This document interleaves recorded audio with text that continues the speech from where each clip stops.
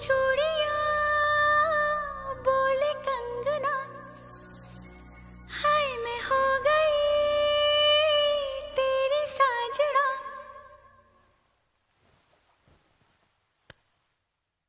तेरे बिन जियो नहीं लगदा।